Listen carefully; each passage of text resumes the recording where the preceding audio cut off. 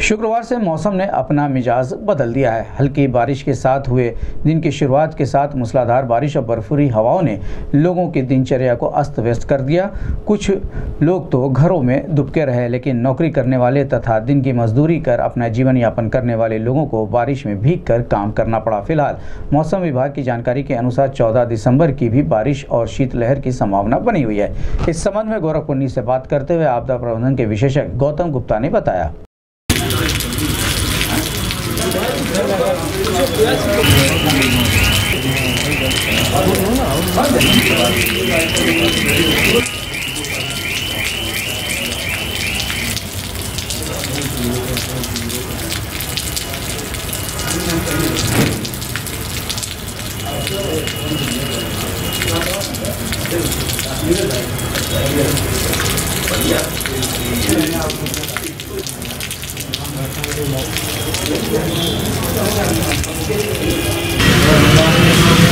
Thank you.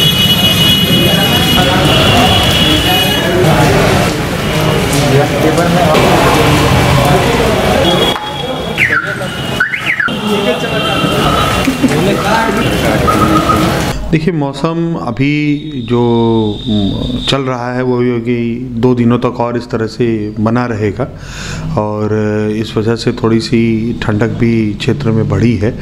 तो ये इस चीज़ को लेकर के पिछले दो तीन दिनों से हम लोग पूर्वानुमान यहाँ का जारी कर रहे थे। कल तो एक हम लोगों ने एडवाइजरी भी जारी की थी, जिसके तहत समस्त डिपार्टमेंट को हम लोगों ने निर्देशित किया था कि इसको जो शीतलहर है, उसको दृष्टिगत रखते हुए आवश्यक कार्रवाई करें। जिलाधिकारी महोदय ने निर्देशित भी किया है समस्त डिपार्टमेंट को कि कोई भी व्यक्ति खुले आसमान के नीचे रात्रि ना गुजारे, वो रैन बसेरों में रहे।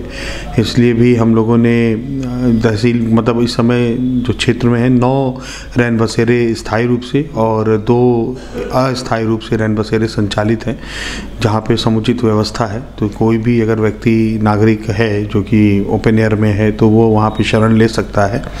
और इसके साथ ही साथ आज जनपद में तकरीबन छियासी जगहों पे अलाव जलाए जाने की व्यवस्था की गई है। अलाव जल रहे हैं। इसके अतिरिक्त कंबल भी हम लोगों ने तात्कालिकता को दृष्टिगत रखते हुए प्रत्येक तहसील को डीएम साहब ने दो दो सौ कंबल आज उपलब्ध करा दिए हैं, जिसमें से कुछ क्षेत्रों में वितरण भी प्रारंभ हो गया है। अभी तक जो सूचना आई है, उस हिसाब से पंचानवे कंबल वितरित भी किए गए हैं लोगों के मध्य में, और ग्यारह सौ कम्बल एन के माध्यम से भी वितरित किया जा रहा है।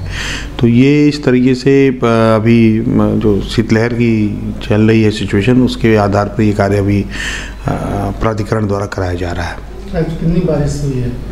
देखिए, सुबह आठ बजे तक का फिगर आया था तो सुबह आठ बजे तक पाँच मिलीमीटर रेनफॉल रिकॉर्ड किया गया था। और अभी का अगर देखा जाए तो अमूनन अभी कोई क्योंकि फिगर अभी क्लियर नहीं निकल कर गया था, वो ट्वेंटी फोर आवर्स पे ही फिगर उसका निकाला जाता है।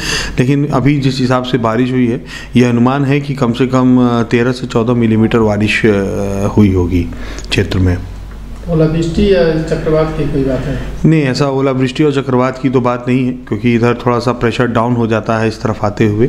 लेकिन एहतियातन उसको भी दृष्टिगत रखते हुए सभी को एडवाइजरी दी गई है। लेकिन ऐसा कोई सिचुएशन अराइज नहीं होता है जिसमें ओलावृष्टि या वज्रपात की घटना घटित हो। कब तक संभावना है बारिश हो देखिए दो दिनों तक रहेगा और उम्मीद है कि परसों से मौसम क्लियर होना शुरू हो जाएगा। लेकिन ठंड रहेगी। अब ठंड जो है वो अब मतलब अपने इस पार से मतलब एक नॉर्मल स्पीड से आगे बढ़ती रहेगी।